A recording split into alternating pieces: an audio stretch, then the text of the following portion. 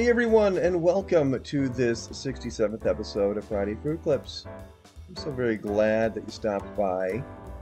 Now, for those of you who are new, please do not forget to subscribe.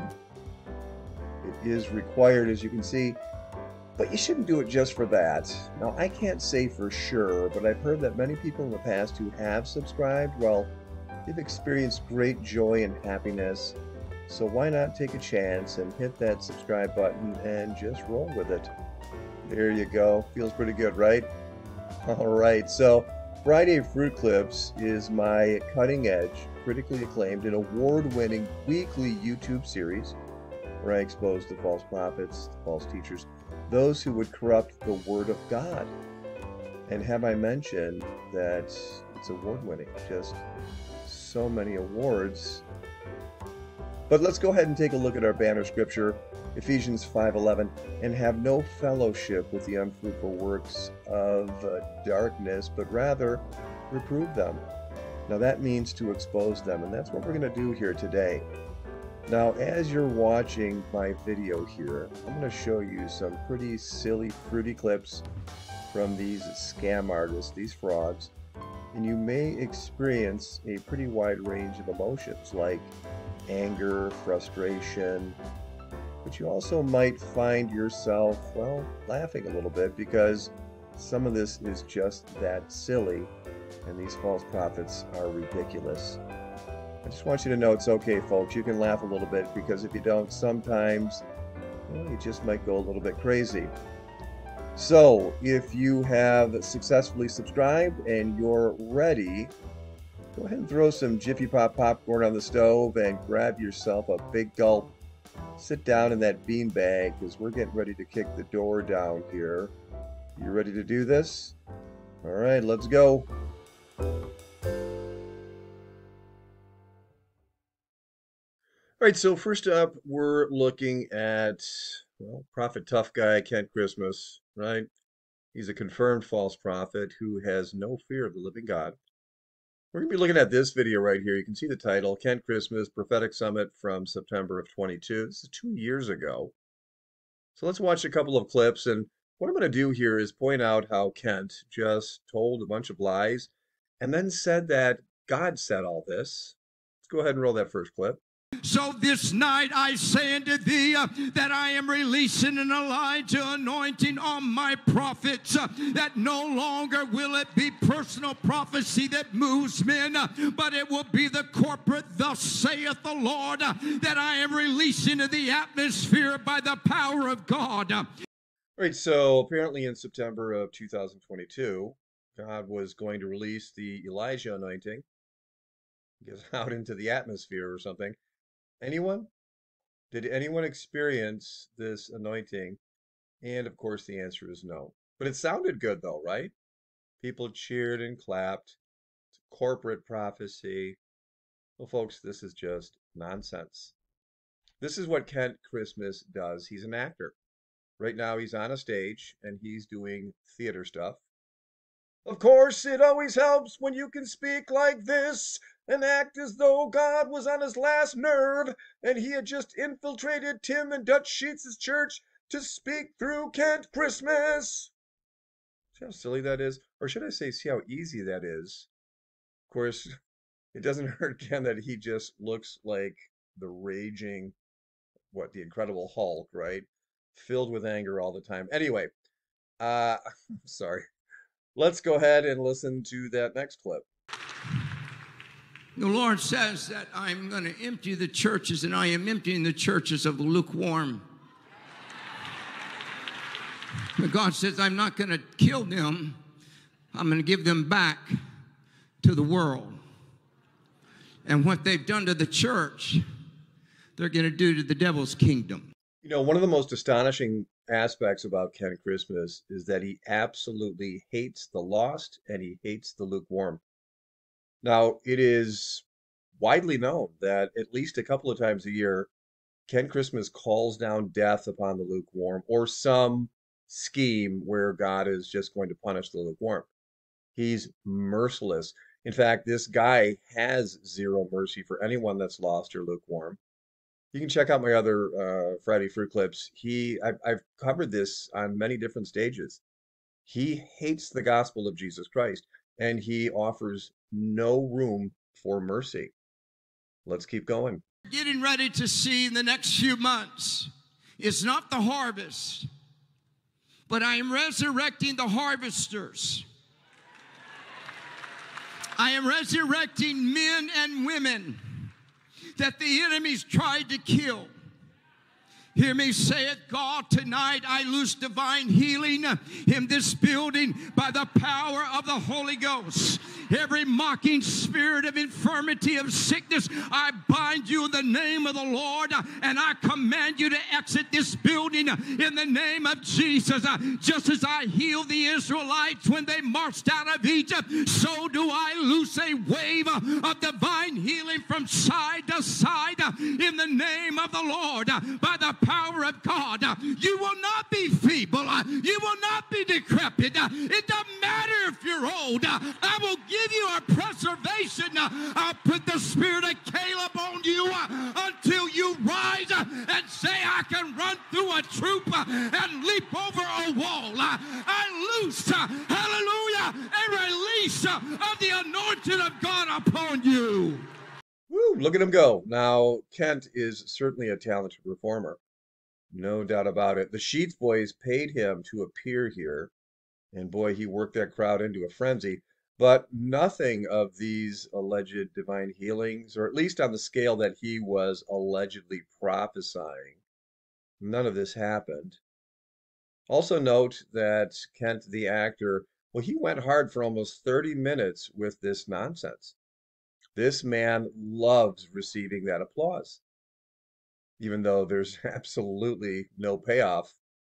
Uh, the people love it. Sadly, these people, well, they were content with just his performance.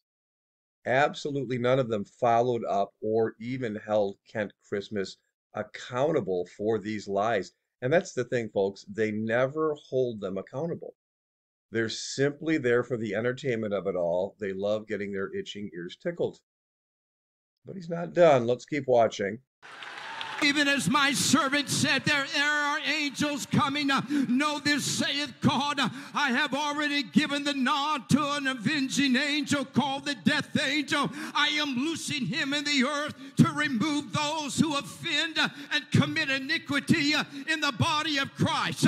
For this will not be a mixed movement.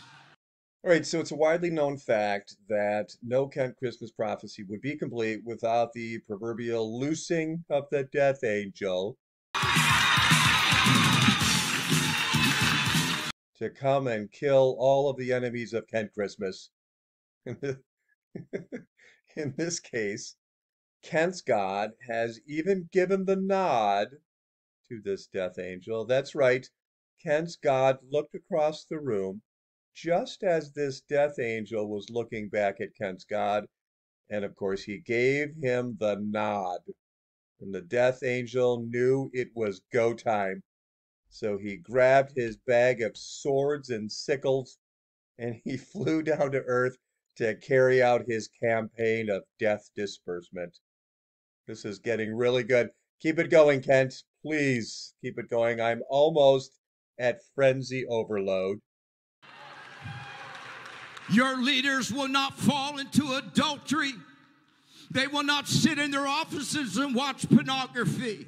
Now, the irony here is just off the scale. Your leaders will not fall to adultery. Uh, does somebody want to tell Kent about Robert Morris, or maybe Chris Reed, or maybe the many, many others?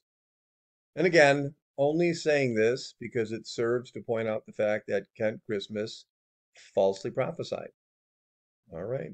Just a couple more, folks. Hang in there with me. Sunday. God said, I'm going to break the spirit of racism.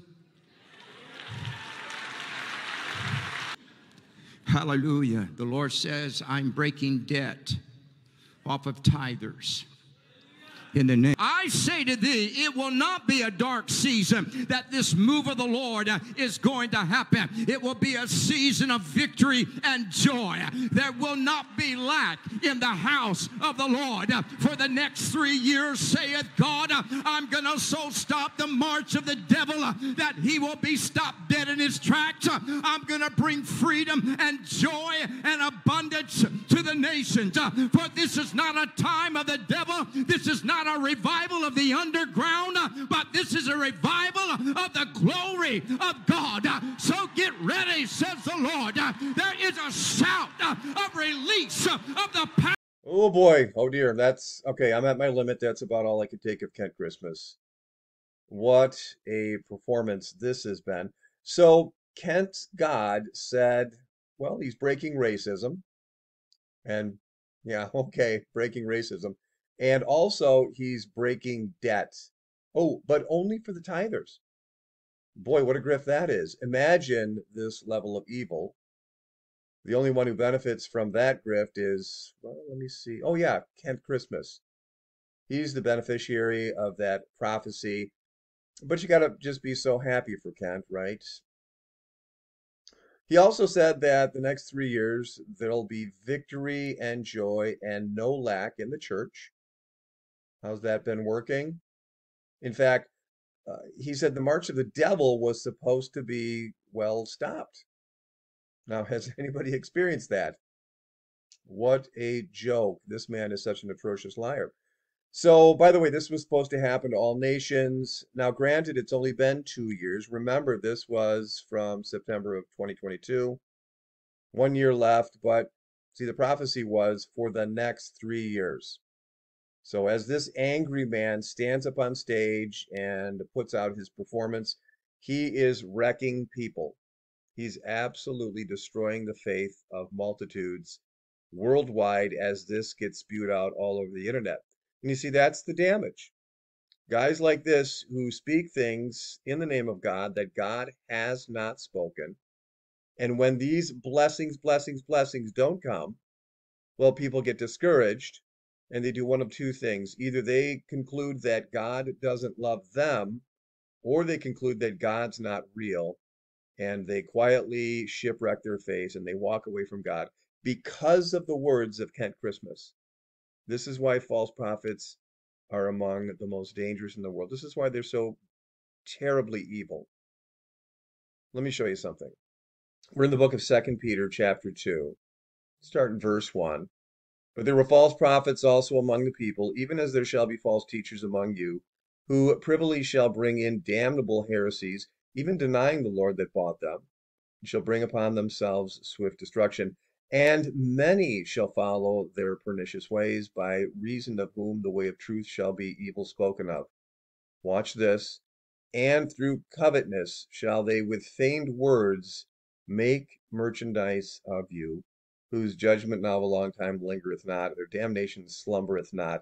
It's perfectly describes somebody like Kent Christmas.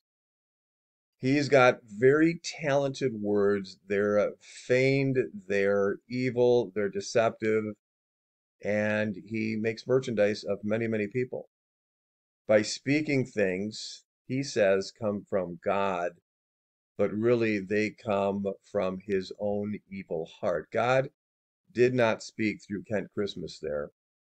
And so uh, at this point, while we conclude this segment, we certainly want to continue to mark and avoid this man and stay away from him. So with that, let's move on to our next segment. All right, so next up, I've got a little segment here where we're going to refute Daniel Adams. This is a video. It's a very short clip by uh, this particular channel. And I just came across this, so I'm going to play this clip, and we're just going to, like I said, do a real quick rebuttal to Daniel Adams, who is an absolute scam artist. So listen to what he says here, and then we'll comment. We'll say, well, Christians can't have demons. Yes, they can. Jesus owns the house, but sometimes squatters like to get in there because we let them in by doing crazy things. All right, folks, so let's refute this. Boy, I'm, I'm going to try to be nice here. Daniel Adams says that Christians can be possessed by demons. He says Jesus owns the house, but sometimes squatters like to get in there because we let them in by doing crazy things. Now, folks, this man is breathtakingly biblically illiterate. It's also one of the dumbest statements I've ever heard anybody make. By the way, can somebody quote me the verse where we can learn about squatter demons? Uh, and of course, the answer is no. Now, he deceives here. He's very deceitful, and let me show you how. When he says Jesus owns the house, what does that sound like to you? It makes it sound like Jesus is absent, like he's far away, almost like a landlord, right? But folks, the reason demons can't get in, right? They can't possess you and become squatters. Well, it's because, well, guess what? You're indwelt by the Holy Spirit. No demon squatter, as Daniel says, can live in us in the presence of the Holy Spirit. The Holy Spirit will not share the temple, nor will a demon be able to live in their, you know, what, side by side with the Holy Spirit. It's atrocious. He's a liar and a blasphemer. But here's why Daniel says this kind of stuff. Do you want to know why? Because this is his money source. He's counting on the fact that most Christians are not well versed in the Bible. Therefore, gullibility is the friend of Daniel Adams. He will continue to make millions as long as he can convince Christians that they can be possessed by demons. Now, of course, I'm not talking about the fact that demons certainly can attack you, oppress you, target you. Uh, we know that that happens all the time. We constantly battle. But possession, absolutely not. Daniel Adams, folks, still one of the most evil men out there, period. And let's take a look at this. In 1 Corinthians chapter 3, let's look at verse 16. Know ye not that ye are the temple of God, and that the Spirit of God dwelleth in you? Now, do you think that God's going to share that temple with demons? Let's go to 1 Corinthians chapter 6. Scroll down to, let's see, verse 19. What?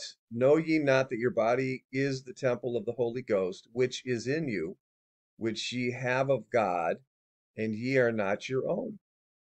What a great verse, right? In the book of Romans, chapter 8, let's go to verse 9. But ye are not in the flesh, but in the Spirit, if so be that the Spirit of God dwelleth in you, or dwell in you. Now, if any man have not the Spirit of Christ, he is none of his. The Spirit of God dwells in you. He dwells in me. And he does not share this room or this temple with demons. My goodness. Okay, with that, let's move on. All right, so next up, we are looking at Apostle Barnabas from Apostle Barnabas Ministries. Now, this guy is from Botswana. And this one might be, well, quite shocking for some. I came across this guy in my research, and I've taken the liberty to put together a little montage, some clips from his video library. I'm going to play this montage, and again, I want to warn you, this might be a little hard to watch for some, uh, but we want to show this in order to expose this guy and to point out how utterly unbiblical and, abusive this guy is. So you've been warned. Let's watch the clip and then we'll come back and comment on the other side. So the spirit is coming from there. Yes. Okay, so thank you. Lord. Come on. Fly you! Okay? In Jesus' name, go! Thank you, Lord. Come on. Come on. Need this anointing. That's the truth, sir. Okay.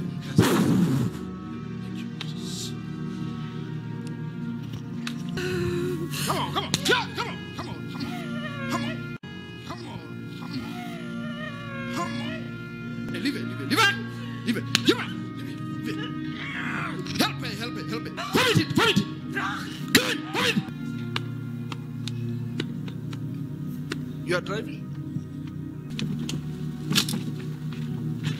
This is ancestral spirits. Yeah, come here, come here. Jesus. Go! So much for coming. He will do something, okay? Mm, thank you. Come on, go! Okay, check out, check out, check out. Go, go.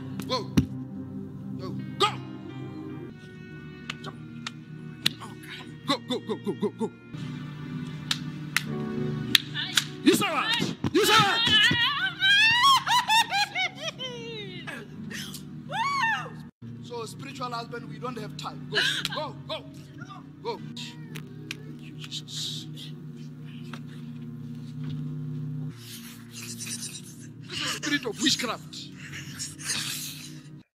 So yeah, a little hard to watch and certainly quite disturbing. Folks, this is not Christian.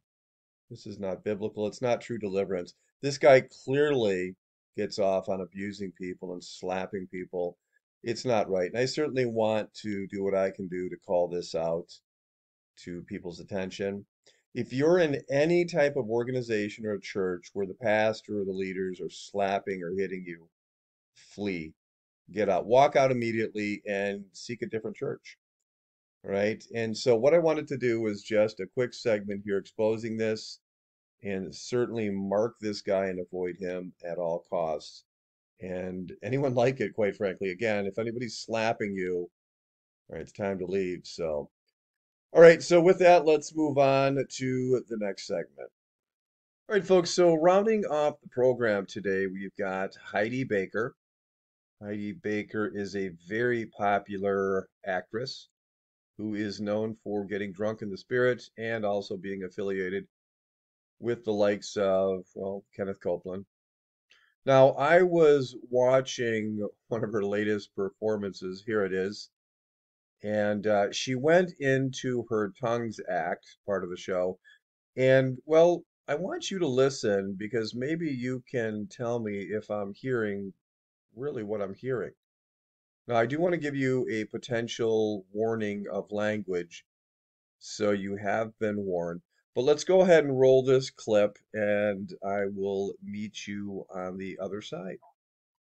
Thank you, Jesus. Let's just worship. Yes, Jesus, we love you, Lord. We love you. We love you. We love you so much, Jesus. Only you, only you could do such amazing things through our little lives laid at your feet, God. It's you, it's you, it's you, it's you. We love you, Jesus. Let's just lift up our voices to Him. Let's just start to sing in the Spirit. Oh, from the back to the front, just start lifting your voices. Just start to sing in the Spirit.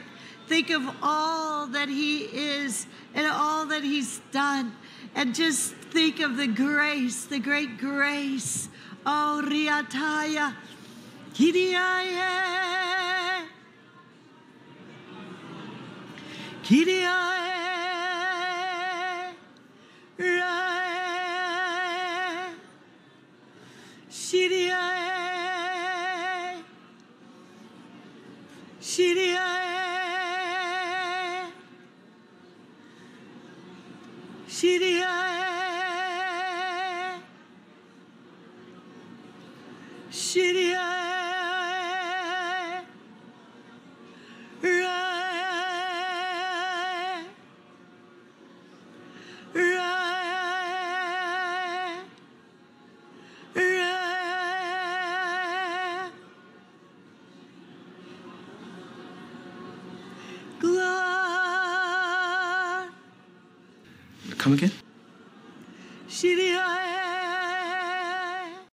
Right, so well, there it is. That's it. That's the clip.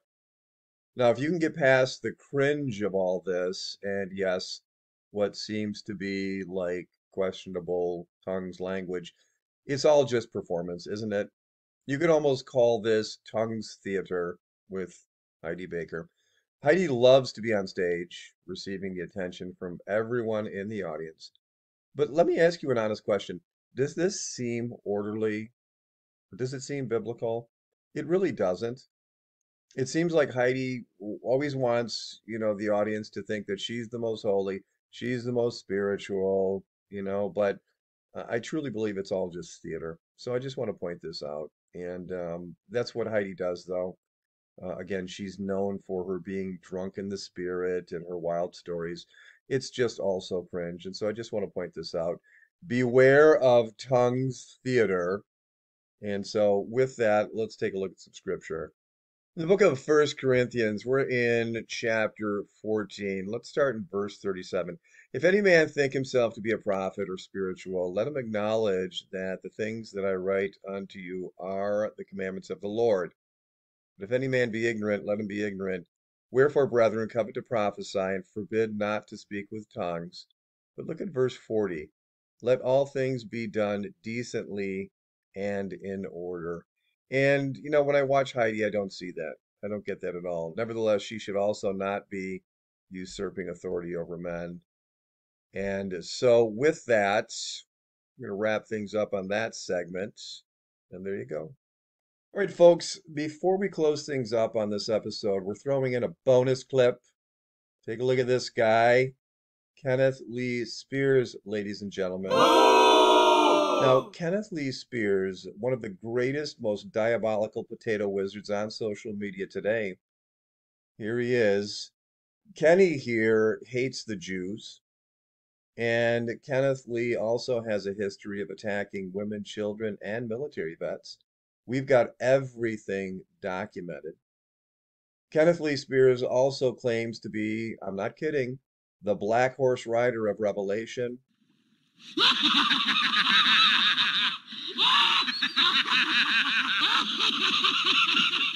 And of course, most of you know that this man has attacked my wife, cursing her with breast cancer. That's also documented. He tries to weasel out of that, but and he has made a community post. We're going to try to help this guy out today, but more so, we want to point this out so that if there is anybody out there listening to him, flee from this guy. So let's take a look at one of his latest posts. Here it is, and we'll start right at the top. He says, It was never known until I, the Lord's true prophet revealed how the horns brought down the walls of Jericho. Of course, this is all comical, it's laughable. None of this can he prove. But look at the part that I have highlighted here. They used seven of the magical breastplate crystal stones from Exodus 28. Now, what Christian, what follower of Christ would ever describe the breastplates, you know, that the priests used from Exodus 28 as containing magical crystal stones. Well, Kenneth Lee Spears, that's who. What an absolute dolt and a blasphemer for wording it like this. So, Kenny, if you're listening, I want to educate you a little bit. God does not use magic, uh, nor does he need to my Father, our God, the God of the Bible, He is the glory and the power. He doesn't use magic or need magic, you absolute blasphemer. And it is so very apparent to any follower of Christ that God, throughout Scripture, forbids the use of magic. In the book of Revelation, we are in chapter 21. Let's start in verse 8.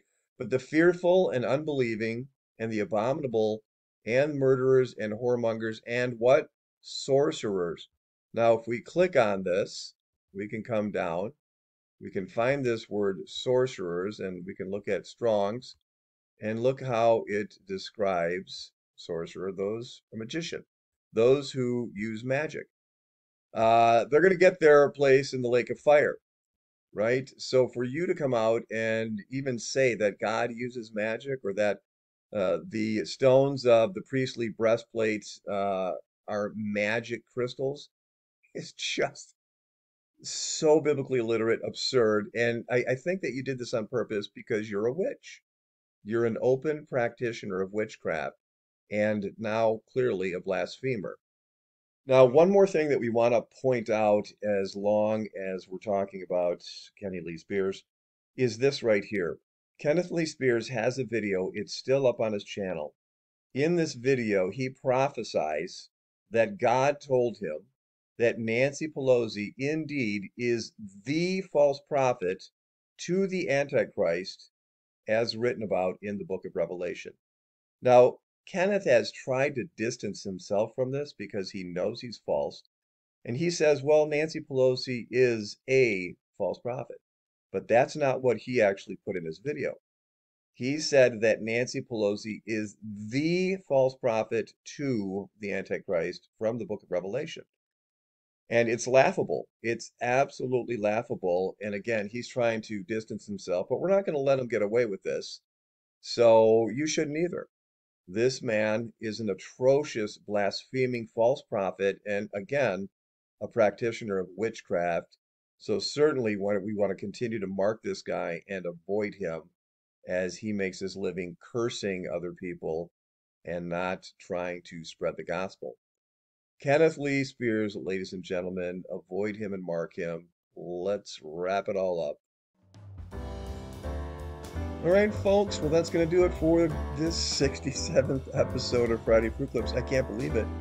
Another episode in the can. As always, I want to ask you to please remember to pray for those who are caught up in the delusion of following these false prophets, these false teachers. Also, pray for the false prophets. Here at DB34, we don't want anyone lost eternally, so please remember to pray for them. And if you'd like to partner with my ministry, you certainly can. Go right down into the description. There's a couple of different ways you can do that, including becoming a Patreon member if you would like, and I sure do appreciate it. All right, so yes, again, here we are on our way out. My staff is over at the door. They want to get out of here. Apparently, there's a new joint that opened up over in Eau Claire. We're going to go get a delicious fish fry. And why not? It's Friday. So the wife is here. We're ready to go. I'm shutting down the lights, setting the alarm, and we are ready to get out of here. So, as we depart, as always, I want to leave you with one final piece of advice, if I could, and that is to always remember to uh, stay fruity. All right, folks, we'll see you next week. God bless. Take care.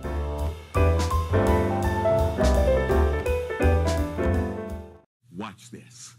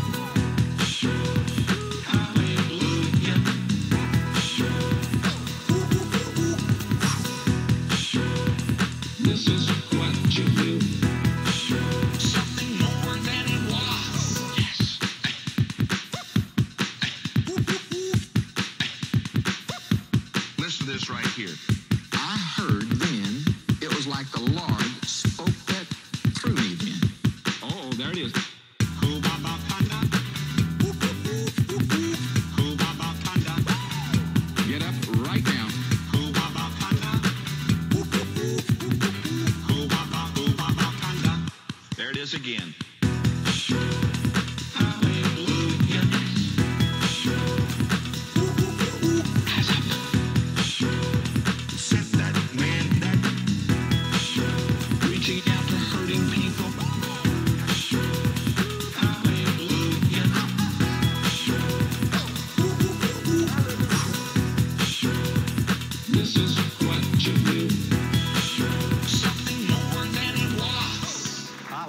Don't you? Add some colored hair. If you don't have hair, then have it painted on your head. I promise you, you will draw a crowd. Because they'll think this has got to be the most fun person on this earth. I got to hear them.